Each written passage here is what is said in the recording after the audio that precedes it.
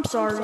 I was supposed to make this, uh, way, uh, way longer. Wait, like a lot back then.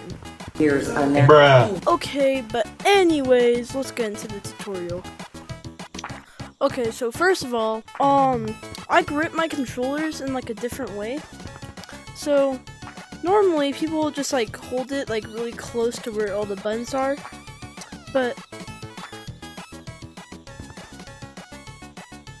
Huh? Okay, but anyways, I grip my controller. Um, I'll put a photo on screen right now. Um, yeah. Basically, um, that makes it so you have like a bit of longer arms. Like, but yeah, that it makes your arms longer, and it's like better for just like branching and stuff. Kind of loosey wing too, though. It's just better for overall like a rolled attack and casual. Staying on fast.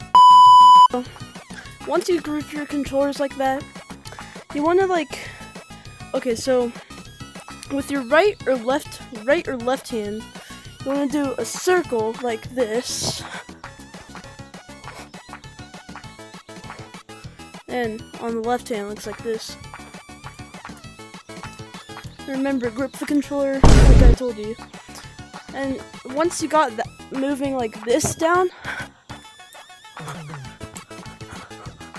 uh, then you want to add like a then you want to practice going like this with your uh with your left or right hand. Depends what kind of circle what side you're doing a circle with. So if you're doing left then you're going to do a right hand backwards.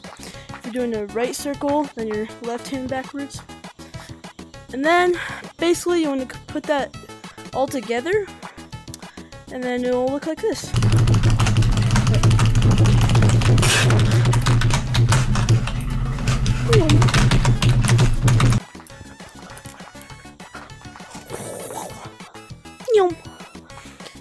Another way you could run, which is like a bit easier in my opinion, it's called funny running. You want to do like this on the ground, like practice like doing like just going like crazy with your hands, and just basically do that on the ground. It looks like this.